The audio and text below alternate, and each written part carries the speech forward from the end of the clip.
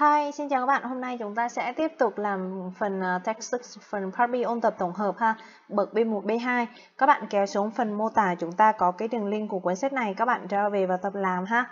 Rồi ok, rồi chúng ta bước vào làm câu 21. Teachers have found the overhead projector to be invaluable as a teaching aid. À, các giáo viên đã phát hiện ra rằng là cái máy chiếu trên cao là như là một công cụ ờ, giảng dạy rất là rất là vô giá ha. Rồi thì bây giờ mình sẽ có cái cấu trúc ở đây á, các bạn để ý này, chúng ta sẽ tìm thành phần của câu ha. Teachers nó là chủ ngữ của câu và tiếp tục mình có động từ have found ha, chia thì hiện tại hoàn thành. À, và tiếp tục các bạn sẽ có cái tân ngữ này, the overhead projector. Đấy, đây là tân ngữ đứng sau động từ found. Và tiếp tục mình có cái cấu trúc là to be. Có nghĩa là khi các bạn dùng những cái động từ như found hay là consider ha, xem cái gì đó như là cái gì đó. đó. Rồi, thì ở sau thì mình sẽ thấy ở có tân ngữ rồi đến là to nối một cái động từ khác. Ở đây mình có động từ tiếp theo là động từ be là đã phát hiện ra rằng cái này như là một cái gì vô giá này ha. Đó, thì cái này là rất là vô giá như là một cái công cụ dạng dạy này. Đó. Rồi, thì mình sẽ thấy ở đây là khi mà người ta viết lại một câu này, teachers have found that. Đó, thì ở đây người ta đang biến đổi cái dạng một cái mệnh đề thành hai mệnh đề khác nhau. Và ở đây mình có mệnh đề chính, nó sẽ là chủ ngữ này, động từ này. Và ở sau này, cái mệnh đề phụ này đóng vai trò làm tân ngữ. Nếu như ở trên này thì cái the overhead projector này nó là tân ngữ rồi ha. Thì ở dưới này là nguyên cái mệnh đề sau that này sẽ là tân ngữ của câu thì mình có đây là một cái mệnh đề thì nó cũng sẽ có đầy đủ thành phần là chủ vị ngữ thôi. Thì mình có the overhead uh, projector nó sẽ là sẽ là chủ ngữ. Và tiếp tục ở sau này mình sẽ sẽ là động từ. Vì sao mình biết nó động từ? Vì vì có dấu hiệu cái từ that ở đây. Đó đã cảm thấy rằng đã tìm ra rằng đã phát hiện ra rằng đó những cái nghĩa như vậy của động từ found ha. Rồi thì mình sẽ thấy ở đây là chủ ngữ tiếp tục thì mình sẽ phải tìm động từ. Thế thì phương án A không thể chủ ngữ đến to được này. Phương án B và phương án C là is và was và phương án D là invaluable thì nó là tính từ luôn thì không đúng ha. Rồi mình phải cần phải có động từ. Thế thì hai cái khác nhau ở đây là is và was thì nó lại khác nhau cái thì. Thế thì mình làm sao để biết được là thì hiện tại đơn hay là quá khứ đơn thì mình sẽ xem xét ở trong câu này, mình sẽ thấy ở động từ have found nó chia ở thì hiện tại hoàn thành đúng các bạn, có nghĩa là cái câu này nó thuộc mảng thể hiện tại rồi. Thế thì mình sẽ có phương án B là phương án chính xác ha. Is invaluable as a teaching aid ha. Đó, các giáo viên đã phát hiện ra rằng là ở cái máy chiếu là một cái công cụ giảng dạy thật là tuyệt vời, thật là vô giá, ha. 22. The law requires that all cars regularly tested for safety and efficiency. À, rồi à, luật pháp thì yêu cầu là tất cả xe hơi đó tất cả xe cộ thì phải được thường xuyên kiểm tra về độ an toàn và độ hiệu quả ha. Rồi thì mình sẽ thấy ở đây lại xác định thành phần của câu nữa, mình có từ lo nó sẽ là chủ ngữ. Tiếp tục động từ là requires, ha, đó, yêu cầu rằng. Thì mình có that, rằng. Thì ở đây nó là chủ ngữ, đây là động từ. Và ở sau này, cái mệnh đề này sẽ là đóng vai trò làm làm tân ngữ. Thế thì nó sau that thì chúng ta cộng mệnh đề rồi thì cũng phải đầy đủ chủ vị ngữ thôi. Thì mình có on cars này, nó là chủ ngữ của cái mệnh đề này rồi. Thì sau này chúng ta cần phải có có động từ của câu ha các bạn. Rồi. Thế thì bây giờ mình động từ ở đây mình cần chia động từ to be. Rồi, động từ to be ở đây thì chúng ta sẽ có là thứ nhất là should be, thứ hai là nó thêm to ở trước và thứ ba là were to be và have to be. Thế thì mình sẽ loại ngay được phương án be đầu tiên vì không thể là chủ ngữ rồi đến to verb được ha. Rồi, uh, tiếp tục cái have to be này là phải phải phải phải thường xuyên được kiểm tra, cái này là đã được kiểm tra và cái này là nên phải rồi. Thế thì bây giờ mình sẽ loại phương là C. Tại vì các bạn nhìn vào các bạn thấy were mà ở đây requires nó là hiện tại đơn này nó bị chân là thì nó sai rồi. Mình chỉ còn là should be và cái have to be. Cái này là bắt buộc phải và cái này là phải nên được, nên được kiểm tra thường xuyên. Thế thì cái này các bạn sẽ thấy một cái dạng nữa là giống như câu giả định các bạn. à, cái như cái video trước những cái câu trước này mà chúng ta làm này, trước câu 20 thì chúng ta đã học về câu giả định rồi. Đó, một cái câu mà ở cầu khiến mong muốn người khác làm cái gì đó mà không mang tính ép buộc như là câu mệnh lệnh. Thì cái này requires nó là mặc dù mình dịch nghĩa là yêu cầu, nhưng mà kiểu như là yêu cầu khuyến cáo các bạn ha, thì phải nên được kiểm tra thường xuyên về độ an toàn và hiệu quả, đúng không? Chứ đâu có phải bắt buộc là, tại nếu như các bạn dùng cái have to là phải thì có nghĩa là phải làm, mà nếu không làm thì sẽ bị phạt á đây không, đúng không? Người ta chỉ đang yêu cầu khuyến cáo là phải nên kiểm tra để cho an toàn và hiệu quả thôi, chứ không phải là không kiểm tra thì sẽ bị phạt nha. Đó, cho nên là khác nhau giữa have to và should be là như vậy. Thế thì phương án này mình sẽ chọn chọn should be là đúng ha. Rồi. Và trong trường hợp mà người ta vứt từ should be thì các bạn các bạn giữ nguyên cái từ be ở đây nha. Đó là on cars, rồi đến là be regularly tested đó nó là câu giả định. À, và các bạn phải hình dung là à, nó không có chia vì nó sẽ có một cái từ sự tàng hình ở trong đó. đó cho nên là ở đây là cái on cars nó là chủ ngữ này là động từ to be. Mình phải giữ nguyên nha. Đó trong trường hợp người ta viết cái từ should đi ờ, rồi cái câu này nó đang là bị động ha động từ chia ở dạng bị động. Mình có là be này rồi đến pp là tested này uh, safety danh từ ha vì độ an toàn và hiệu quả. Rồi câu 23 I assured him that he pneumonia. Uh, tôi cam đoan tôi đảm bảo rằng là anh ta là bị viêm phổi. Rồi mình sẽ có tiếp tục ở đây là động từ assured. Nó là động từ của câu và nó chia thì quá khứ đơn đúng không các bạn? Ha. Rồi thế thì mình phân vân ở đây liệu rằng đây có phải câu giả định hay không? Câu giả định mình mới nói ở trên là nó giống như nó mang tính chất là cầu khiến là mong muốn người khác làm cái gì? Không mang tính ép buộc. Thì cái này là cam đoan đảm bảo thì có phải là nó là phải cầu khiến các bạn không đúng không? Cho nên mình sẽ không áp dụng cái công thức là cộng động từ nguyên mẫu ở sau này. Cho nên mình không có áp dụng là should get hay là get ở đây ha? Đúng không? Tại nếu như mà ở đây nó thay bằng cái động từ khác á, động từ theo kiểu là cầu khiến á đó thì chúng ta biết đó là cái câu mệnh lệnh câu giả định thì ở sau này chúng ta sẽ cộng động từ nguyên mẫu hoặc là xuất nguyên mẫu. Đó thì thì nếu như mà như trường hợp cái cái 22 thì mình sẽ có là có thể là xuất get hoặc là get giữ nguyên uh, mặc cái chủ ngữ là he hay là she hay gì đó cũng được. Nhưng mà ở đây cái động từ assured này ở đây nó có nghĩa là cam đoan đảm bảo rằng nó không phải là câu mệnh lệnh rồi không phải là câu à, không phải câu giả định câu cầu khiến gì rồi. Cho nên chúng ta không áp dụng theo theo cấu trúc này ha. Mà mình chỉ nói một cái câu tường thuật lại bình thường. À tôi nói rằng tôi đảm bảo tôi cam đoan rằng là anh ta anh ta sẽ bị viêm phổi thôi. Mình sẽ có là good get vì sao? Ở đây quá khứ đơn rồi, nói giống như tường thuật lại thôi đúng các bạn. Thì các bạn cũng lùi thế. Thay vì will get thì mình sẽ có là good get. Tại vì ở đây assured, ha, quá khứ đơn. Không thể là get giữ nguyên ở thì hiện tại như vậy được. Nói trên là thì đúng không? Hai tư, he began to realize that he mistake. Anh ta bắt đầu nhận ra rằng là anh ta đã phạm lỗi. Rồi bây giờ mình sẽ thấy ở đây có cái từ that và đến he là chủ ngữ. Thế vì đây mình cần điền động từ của cái mệnh đề này cái mệnh đề nhỏ này nhé các bạn. Còn mệnh đề chính của chúng ta là có he là chủ ngữ began nó là động từ đấy ha rồi chị thì quá khứ đơn. Rồi thế thì cái dấu hiệu cho chúng ta tiếp tục chia cái động từ ở đây là dựa vào cái động từ began ở đây này. Nó đang là quá khứ đơn, cho nên mình không chia được phương án A, không chia được phương án B, không chia được phương án D tại vì nó là quá khứ rồi, đúng không? Thì mình không thể dùng hiện tại hay là tương lai trên lệch ở đây được. Mình sẽ có là had made, ha. Đó, anh ta đã bắt đầu nhận ra rằng là à anh ta đã phạm lỗi rồi, ha. Had made, quá khứ hoàn thành. Ok, chúng ta có cái cụm động từ là make mistake nha các bạn. Rồi Ờ, uh, 25 the prime minister warned that higher wages, higher prices. Rồi, thủ tướng là cảnh báo rằng là lương càng cao thì nghĩa là vật giá càng cao ha. Rồi mình có động từ minh ở đây nghĩa là ha chứ không phải là nghĩa cố ý tại vì nó có hai nghĩa, nghĩa um, thứ nhất nghĩa là, thứ hai là cố cố tình làm gì, cố ý làm gì. Rồi. Thế thì ở đây mình sẽ dựa vào một cái uh, dấu hiệu tiếp theo đó là cái động từ want, nó là quá khứ đơn, đó. Thế thì trong câu này các bạn phải đảm bảo được cái mảng thì thì chúng ta không dùng được cái c chúng ta không dùng được cái đi vì không thể là chủ ngữ để đến to verb được. Chúng ta cũng không dùng được will verb, tại vì đây là quá khứ mà. Vậy thì mình sẽ có phương án a là good mình ha. Kiểu như là mình tường thuật lại. Đã cảnh báo rằng, đã nói rằng, đó thì thì mình phải tường thuật lại thì đảm bảo trong cái câu tường thuật thì động từ trong đó phải đảm bảo là là lùi thì thế thì ở trong này chỉ có mỗi phương án A nó đảm bảo nguyên tắc là nó lùi thôi đúng không? Rồi như vậy thì mình sẽ có là good mình. Rồi How many people considered it to be cruel to send animals in rockets into outer space? À, rất là nhiều người cho rằng là quá tàn nhẫn để mà đưa các động vật ở trong tên lửa ra ngoài không gian rồi thế thì bây giờ mình thấy ở đây chúng ta đổi, biến đổi thành một cái câu khác. Là many people consider that. Rồi, thế thì điểm khác biệt là ở trên này chúng ta có consider rồi đến là it, tân ngữ rồi đến là to verb này. Đó cân nhắc cái gì hay xem xét cái gì đó như là như thế nào đó. Nó tương tự như cái câu 21 ở trên này các bạn ha. Là động từ ở đây người ta dùng động từ fight ha và sau đó là something rồi đến là to verb.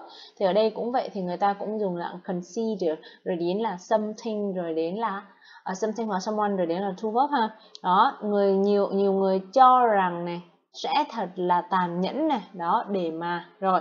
Thì ở đây người ta dùng là many people consider that rằng đó, cũng cân nhắc rằng và cho rằng thì thì ở đây mình nói một cái câu hoàn chỉnh thay vì ở trên này nó dùng tân ngữ để đến thu verb nối động từ với nhau thì ở dưới này người ta tách ra thành hai mệnh đề, một mệnh đề chính và mệnh đề phụ ở sau này.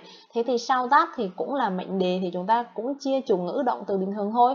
Thế ở đây cái phương án A này không có chủ ngữ không động từ này cái phương án B không thể chủ ngữ để đến to be được.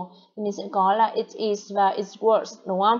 Thế thì ở đây là mình sẽ xem là nó khác nhau cái thì nữa thôi. Thì dựa vào cái động từ consider, ở đây nó đang là hiện tại. Thế thì ở sau này cũng là hiện tại thôi, đúng không? It is. Đó. Nếu như ở trên này nó dùng considered, ở dưới này nó cũng tưởng thuật lại là considered, thì ở sau này sẽ là it's was ha? Rồi, các bạn để ý cái này. Ờ, uh, 27. Prime Minister clearly suspects his party to have little chance of winning the next election. Rồi Thủ tướng thì rõ ràng là uh, cũng nghi ngờ được là đảng của anh này, uh, ờ, đảng của ông ấy là có quá ít cơ hội, rất là ít cơ hội để chiến thắng trong cuộc bầu cử tiếp theo.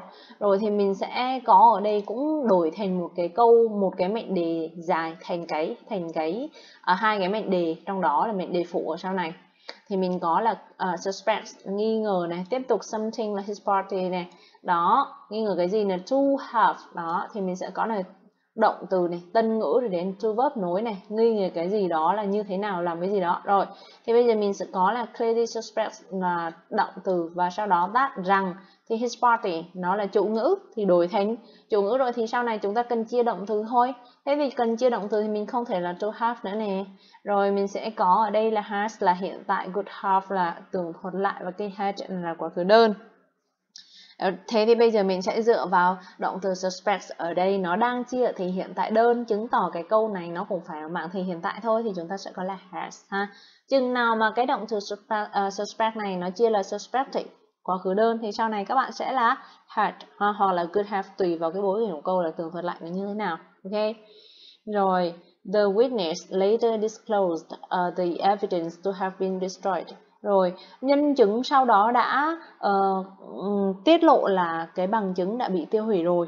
Rồi thì bây giờ mình sẽ thấy ở đây nó cũng tương tự như ở trên, nó biến đổi từ một cái câu dài nó thành hai cái câu. Mình có disclosed, rồi là tiếp tục này, tân ngữ này rồi đến là to verb này. Thì thay vì vậy thì người ta dùng là disclosed rồi đến tiếp tục là that. Thì sau that thì chúng ta sẽ cộng mệnh đề. Mệnh đề thì ở đây mình có the evidence nó là chủ ngữ. Thế thì sau này mình sẽ cần cần động từ của cái mệnh đề này.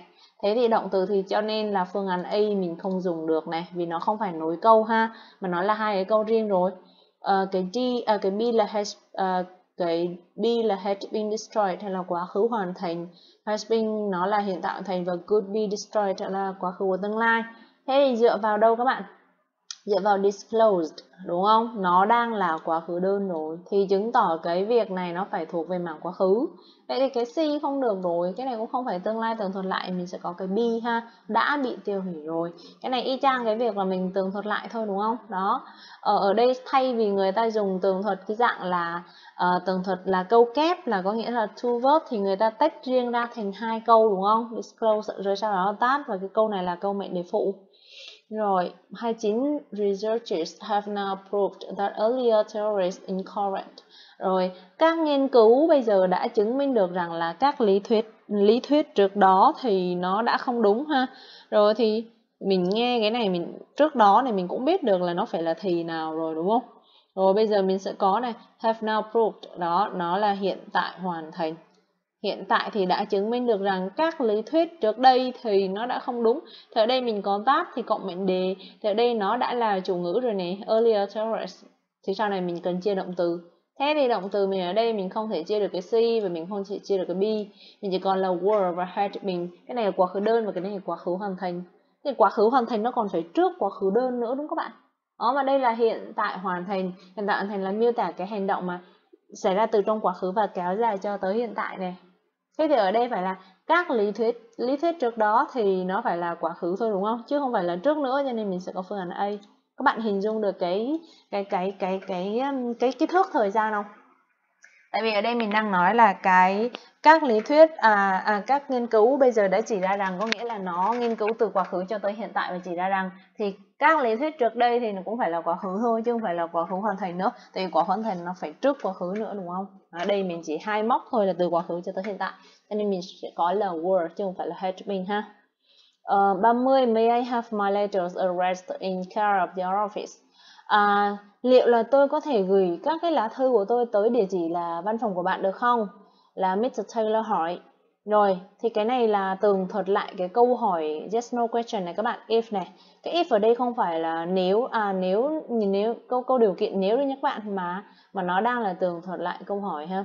Mình đã được học trong một vài video trước rồi là tường thuật lại câu hỏi, có hai câu hỏi là câu hỏi yes, no question và câu hỏi có từ hỏi. Thì ở đây nó đang là là câu yes, no question. Rồi, ở đây mình có cái câu trực tiếp này là có cái cấu trúc này, have này, something này done này. Done có nghĩa là verb pp có cái gì được làm mà các bạn, ha? Có nghĩa là được người khác làm cho mình đó đó một dạng một dạng bị động mà các bạn bị động đặc biệt, ha?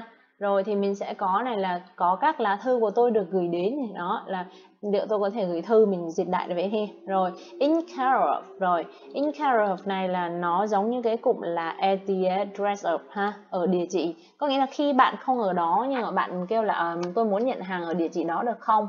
Thì mình sẽ dùng cái cụm là in uh, idiom mà in care of cũng được ha. Nó tương tự như cái cụm là at the address of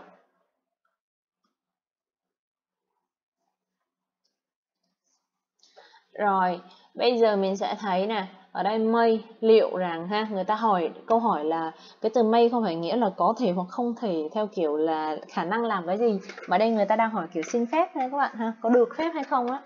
Rồi mình có if này liệu rằng này chứ không phải nếu đấy nha. Thế bây giờ mình sẽ lùi mình sẽ phải phải thay đổi ngôi đúng không? Đó. Cái ông Taylor này hỏi là nếu ông hỏi trực tiếp là à, tôi có thể gửi các lá thư của tôi tới địa chỉ văn phòng của bạn được hay không? Bây giờ mình tường thuật lại cho cái người khác nghe là à ông Taylor hỏi rằng liệu rằng ông ấy có gửi thư của ông ấy đúng không? Đó. Rồi thì mình sẽ có ở đây là liệu rằng ông ấy nè thì phải chủ ngữ là he này chứ không thật là là tôi được tại vì tôi là trong ngôi trực tiếp ông nói mà mà mình đang kể lại thì phải là ông ấy chứ. Thì mình sẽ có là hay tiếp tục ở đây là may là hiện tại mà tường thuật lại thì phải đảm bảo nguyên tắc là lùi thì vì mình đã kể lại mà không phải nói trực tiếp nữa. Lùi thì, thì cái từ may này nó phải lùi về might ha? Vậy thì mình sẽ có phương án đi là phương án chính xác rồi. Ông, ông ấy có thể gửi này đó thì có thể nè sau động từ khiếm khuyết thì động từ thường giữ nguyên cho nên mình có học là giữ nguyên. Tiếp tục lá thư của ai các bạn? Thư của ông ta đúng không? Đây tôi có thể gửi thư của tôi. Thì bây giờ mình kể lại là à, ông ấy hỏi rằng liệu ông ấy có thể gửi thư ông ấy không? Thì his letters rồi đến đến văn phòng của tôi được hay không? Mình kể lại cho người khác nghe ha. Phương án đi là phương án chính xác. Rồi 31 the doctor says the moisture in the air might affect your breathing. À, bác sĩ nói rằng là độ ẩm trong không khí có thể ảnh hưởng đến hơi thở của bạn. Rồi thì đây là bác sĩ nói trực tiếp, đúng không? Thì bây giờ mình kể lại, đúng không? Nếu như mà ông bác sĩ nói trực tiếp với mình là your hơi thở của bạn, thế thì mình tường thuật lại cho người khác thì phải là ở bác sĩ nói rằng là độ ẩm trong không khí có thể ảnh hưởng tới tới hơi thở của tôi, cho nên mình sẽ có là my breathing đúng không? Rồi tiếp tục, ở trong này nó dùng là my thì ở dưới này mình cũng mình cũng dùng my thôi, đúng không? Chẳng qua mình thay thế cái tính từ sở hữu do với my này nữa thôi. Mình sẽ có phương án A là phương án chính xác ha rồi tiếp tục 32 I'd love to come she said. She said rồi. À, ui, tôi thích đến lắm tôi rất là muốn đến luôn.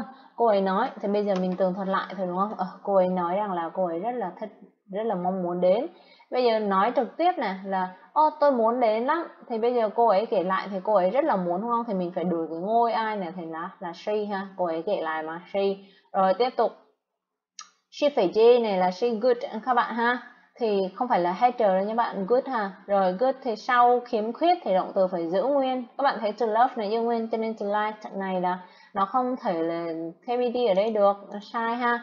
Rồi cái này sai ngôi cái này she the, the like ha. Thay vì người ta dùng love thì người ta biến biến thành like thôi là giống nhau ha. Good love good like. Rồi sau đó là to verb ha. Rồi uh, which of these films have you seen? My friend asked me which of the films. Rồi, uh, bạn đã xem được là bộ nào trong những bộ phim này rồi. Đó, bạn của tôi hỏi tôi là cái bộ phim nào trong cái đóng phim này thì thì tôi đã xem đúng không? Mình kể lại đúng không? Đó, hỏi tôi nè. Hỏi tôi thì phải phải là tôi đã xem những bộ nào rồi. Rồi thì bây giờ mình sẽ có ở đây là tường thuật lại câu hỏi mà câu hỏi có từ hỏi nha, không phải là if như ở trên nữa mà mình sẽ tường thuật lại câu hỏi này. Which of the films? Đó, đây là từ hỏi nha các bạn ha bộ phim nào. Thế thì nó tường thuật lại thì nó không phải là câu hỏi trực tiếp cho nên nó không có đưa trợ lên trước chủ ngữ như câu trực tiếp này nữa, mà mình sẽ viết theo thứ tự là chủ ngữ rồi đến động từ ha. Bạn của tôi hỏi tôi là bộ phim nào mà tôi đã coi, đúng không? Thì mình sẽ có chủ ngữ là ai. Và tiếp tục ở trong này là thì hiện tại hoàn thành have you seen? Thì lùi về quá khứ hoàn thành thì I had seen. Ha, mình sẽ có phương án B là phương án chính xác rồi các bạn để ý là khi chúng ta tường thuật lại thì thứ nhất chúng ta phải đổi ngôi, thứ hai chúng ta lùi thì, thứ ba là lùi những cái trạng từ không gian nếu như ở trong câu đó có. Ví dụ như tomorrow thì mình sẽ lùi về the following day chẳng hạn ha. Rồi, ba tư, hôm did you see at the concert last night? She asked us home. Uh, mấy đứa đã nhìn thấy ai, gặp ai ở buổi concert vào tối qua vậy? Đó, mình nói luôn là mấy đứa tại vì sao? She asked us. Đó cô ấy hỏi chúng tôi rằng, hỏi chúng tôi thì phải hỏi mấy đứa, đúng không? Cô ấy hỏi chúng tôi rằng là chúng tôi đã gặp ai, đúng không? Đó, vào đêm hôm đó. Thế thì bây giờ mình sẽ có là phải là chủ ngữ là là chúng tôi rồi chứ không phải là tôi nữa, ha? Đó, cô ấy hỏi chúng tôi rằng là ai này mà chúng tôi đã gặp này? Mình có tường thuật lại câu hỏi có từ hỏi thì mình không đưa trợ lên trước chủ ngữ như này nữa, mà mình viết từ hỏi này rồi đến chủ ngữ rồi đến động từ bình thường thì chủ ngữ mình vừa mới xác định là we. Và ở đây thì quá khứ đơn thì lùi về quá khứ hoàn thành là had seen, ha? Thì mình sẽ có phương án B là phương án chính xác. Whom we had seen the other night. Thì ở đây người ta lùi cái last night là tối hôm trước thì mình sẽ dùng thành là tối hôm đó, ha? Đó, lùi cái không gian.